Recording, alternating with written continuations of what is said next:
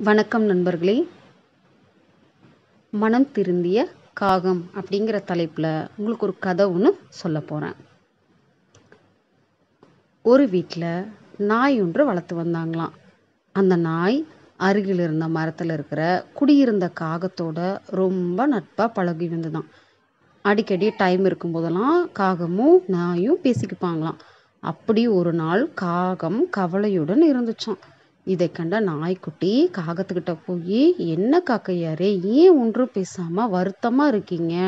அப்படின்னு கேட்டுச்சான் அதற்கு காகம் சொல்லிச்சாமா மற்ற பறவைகள்கிட்ட அன்பா வளர்க்குறாங்க. அவங்க செயல்கள் எல்லாம் பாராட்டுறாங்க. ஆனா என்ன வெறுத்து கல்லால் விரட்டுறாங்க? ஏன்? அப்படின்னு கேட்டுதாம்மா காகம். அதற்கு காரணம் நாய்க்குட்டி சொல்லிச்சாம்மா அதுக்கு என்ன காரணம் தெரியுமா? அவங்களோட ஒழுக்கமின்மை தான் காரணம் அப்படின்னு சொல்லிச்சாம்மா. இதை நீங்கள் இல்லாமல் செஞ்சீங்க அப்படின்னா உங்களையும் அன்பாக நடத்துவாங்கன்னு நாய்க்குட்டி சொல்லிச்சான் உடனே காகம் கோவம் வந்துடுச்சான் எங்களிடம் அப்படி என்ன ஒழுக்கமின்மை இருக்கு? கடமை சுத்தம் இப்படி பல நல்ல குணங்களில் நாங்கள் தான் சிறந்தவங்க அப்படின்னு காகம் சொல்லிச்சான் அதுக்கு நாய்க்குட்டி ஆமாம் ஆமாம் உண்மைதான் காகம் அப்படின்னு சொல்லிச்சான் அப்போ காகம் சொலிச்சமாம் பகிர்ந்து உண்ணும் பண்பை கற்றுத்தந்ததும் நாங்கள் தான் அதை பெருமையோடு சொன்னதான் காகம். ஆமாம் அதுவும் உண்மைதான் அப்படின்னு நாய்க்குட்டி தலையாட்டுச்சான் உடனே பல நல்ல குணங்கள் எம்மிடம் இருந்தும் மற்ற பறவைகளுக்கு உள்ள மதிப்பு எங்களுக்கு இல்லையே ஏன் அப்படின்னு கேட்டுச்சாமா. உடனே நாய்க்குட்டி சொல்லிச்சாமா திரும்பவும் சொல்கிறேன் உங்கள் ஒழுக்கம் இன்மை தான் இதுக்கு காரணம்னு சொல்லிச்சான் அப்படி நாங்கள் என்ன தப்பு செஞ்சோம்? அப்படின்னு காகம் கேட்டுச்சான் என்ன ஒழுக்கமின்மை?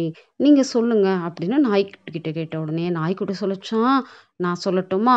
மனிதர்கள்கிட்ட இருந்து உணவுப் பொருட்களை திருடுறது தான் அவங்களுக்கு பிடிக்காத ஒரு செயல் அப்படின்னு நாய்க்குட்டி சொல்லிச்சான் இது சொன்ன உடனே காகத்துக்கு தலை குனிவு ஏற்பட்டுருச்சான் தலையே குனிஞ்சுக்கிச்சான். அப்போ நாய்க்குட்டி சொல்லிச்சான் நீங்கள் மனிதர்கள்கிட்ட அவங்களுக்கு தெரியாமல் நீங்கள் திருடுற பழக்கம் இருக்கு இல்லையா? அதுதான் வெறுக்கிற ஒரு குணம். நீங்கள் எவ்வளவு நல்லது இருந்தாலும் உங்களோட தீய பண்புகளில் அந்த நல்ல பண்புகள் இருந்தாலும் அது மேலே தெரியாது.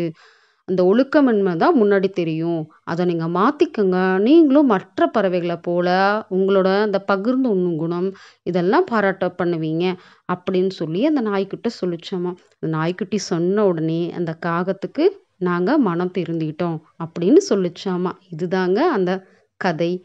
கதைகளுடன் ரத்னா